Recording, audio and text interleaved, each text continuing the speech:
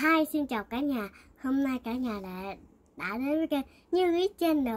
Thì hôm nay ờ, chào mừng cả nhà đã đã chào mừng lại Như Ý nha. Hôm nay ờ, Như Ý sẽ giới thiệu cho một một cái bài thơ. Không biết là cả nhà có biết không ta? Đó là câu chuyện nhổ cải lên. Ngày xưa ngày xưa có một gia đình có một người ông nuôi tất cả con vật và nuôi một đứa cháu con gái. Thế xong một hôm, ông chồng của bà đó đi ra ngoài nông trại, thấy một củ cải trắng bự ơi là bự luôn. Thế xong ông mới ông mới nhổ làm sao nè, nhột cài lên, nhột cài lên, nhột cài lên. Thế xong ông không nhổ được, hay là ông mới gọi bà Bà ơi, bà ra đây phụ tôi. Hay là bà nói Ừ la điền. Thế xong bà nói, Rồi rồi, Bà nắm sau lưng cái áo của ông.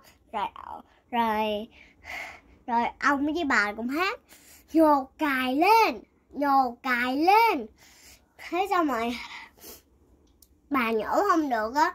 Rồi xong ờ, bà mới kêu Cháu gái ơi cháu gái ra đi, phụ bà. Rồi xong cháu gái dạ con ra liền. Thế xong cháu gái mới nắm áo của bà sau lưng. Thế xong cháu gái mới cháu gái với ông bà mới hát, nhồ cài lên, nhồ cài lên. Thế xong cháu gái nhỏ không được cháu gái mới gọi gọi chó ra. Chó ơi, chó ra đây, phụ chị. Thế xong cháu mới ngay cái uh, váy của chị xong rồi xong rồi tất cả mọi người cùng hát nhồ cài lên nhồ cài lên. Hay xong chó nhỏ không được. Hay xong chó mới gọi là mèo mèo ra đây phụ chó. Hay xong rồi mới mèo mèo mèo. Hay xong mèo mới mèo mèo mới uh, nhỏ mèo mới uh, lúc đó chó mặc áo chó nha. Không mà mèo mới nắm cái uh, gì ta? Nắm cái áo của chó. Rồi uh, cả mọi tất cả mọi người nói nhồ cài lên! Nhồ cài lên! Hết sao mèo gọi không được. Gọi, chuột ra. Chuột các nghe.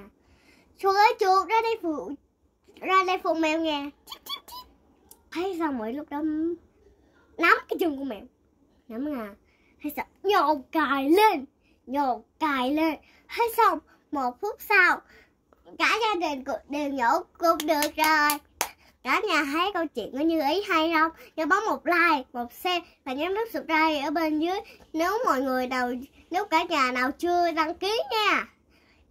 Nhớ bấm chuông để xem được nhiều video có như ý. Và nhớ bình luận với với, với bên dưới nha mấy. Cả nhà. Bye bye.